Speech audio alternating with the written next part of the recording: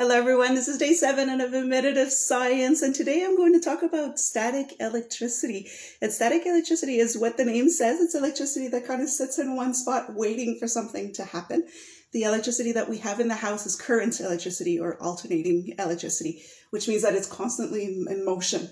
But static electricity just sits there waiting for an opportunity to jump into motion. And this is where you get the shocks.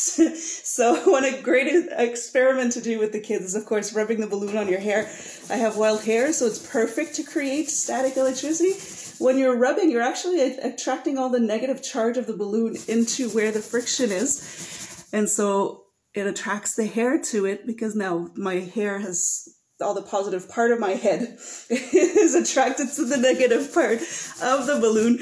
And another great experiment to do with children is if you break off the sulfur part of a matchstick, um, tie it to a string, tape it to the bottom of a glass here, and when you're rubbing the balloon, you're creating that negative charge.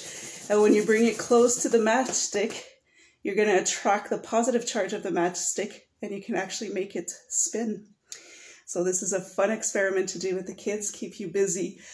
We'll keep them busy for a while, give you a break. I hope this helps. We'll see you tomorrow.